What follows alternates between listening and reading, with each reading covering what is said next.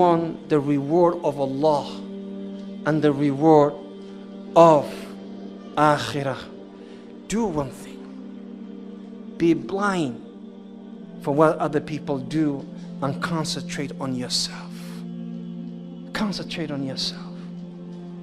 Don't judge people. Sisters, you may sit next to a sister who is not dressed the way you want her to dress.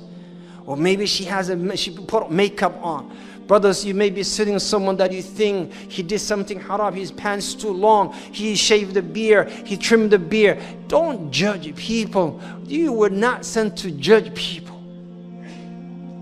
But if you see something that you think is not Islamic, have a nice nasiha, conceal secret nasiha, and move on.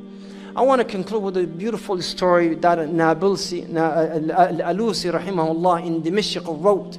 And I want, this is a beautiful story, and this is, is revolved in, a, in an issue that most of us will not act that way.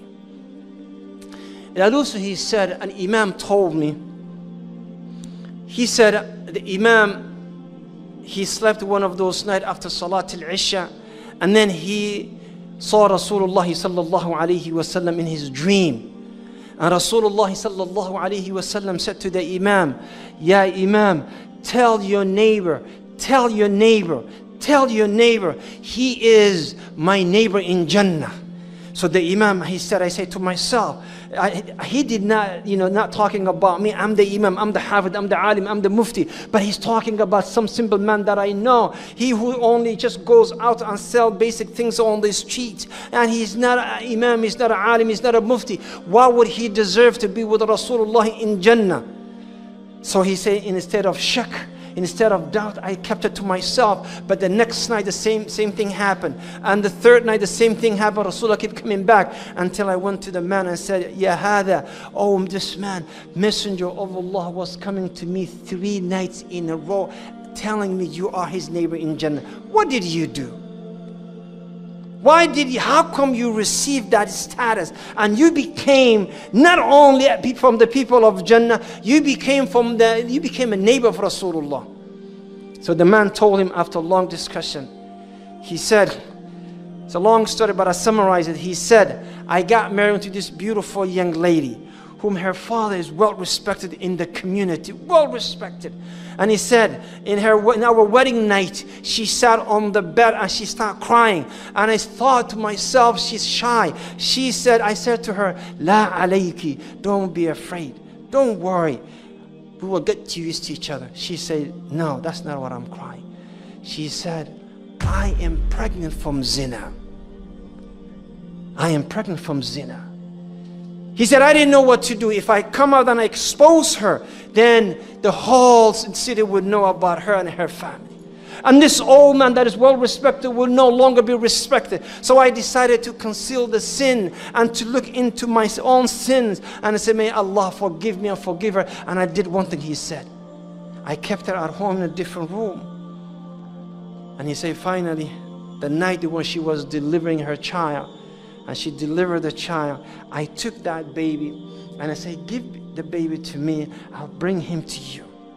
She delivered a beautiful little boy, and I took the baby to Salat al Fajr to the masjid that I used to go and I purposely went to the masjid late and I put the masjid, put the baby right inside the masjid and I proceeded to the jama'ah making sure that I can see the child also. And when the imam said assalamu alaikum assalamu alaikum and the people were about to leave they saw this baby and the people like astaghfirullah somebody left the baby here subhanallah subhanallah. He said then I jumped I said oh my god my wife always wanted to raise a yatim my wife always wanted to raise someone who has no parents.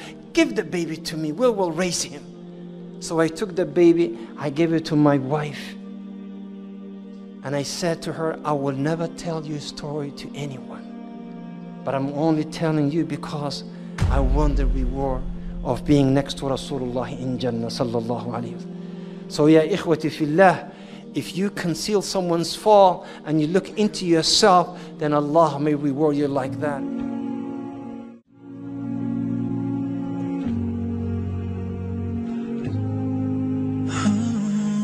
You know, there's a funny story Back in Lebanon, this happened. My father told me this story.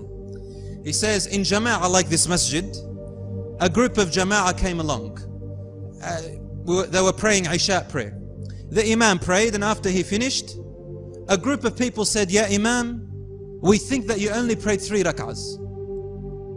Another group said, No, no, no, I think we think he prayed four. Correct. Everybody's disputing, and then suddenly they, they saw a man sitting aside, not saying anything. They asked him, Why aren't you saying anything? It looks like, you know, you, why don't you come in and, and, and talk? He looks at them very wisely, as if he knows everything. And confidently he says, He's prayed four. They said, Why are you so confident? He said, He prayed four. I am definite, Wallah, he prayed four. They asked him, How do you know? He said, Ah, you see, I run four shops. And in Salat, in the first rak'ah, I've calculated the earnings for the first shop, second rak'ah, second shop, third rak'ah, third shop, and fourth rak'ah, fourth shop. My calculations are correct, I've got no other problems. That means we've prayed four. it's funny, but you know what? It happens all the time. This man is calculating his earnings by which he calculated his raka'at of the salat. So the world is twisted the other way around. When Allah gives us too much, we forget our Lord even in our salat. And that's what Iblis said. He said, لَأَقْعُدَنَّ لَهُمْ صِرَاطَكَ الْمُسْتَقِيمِ I shall sit awaiting for them on your straight path. In their salat, I'm going to wait for them. In the Quran, I'm going to, meaning when they're reciting, I'm going to wait, I'm going to whisper. I'm going to make them turn even their worship into a sin. Even their worship into a sin.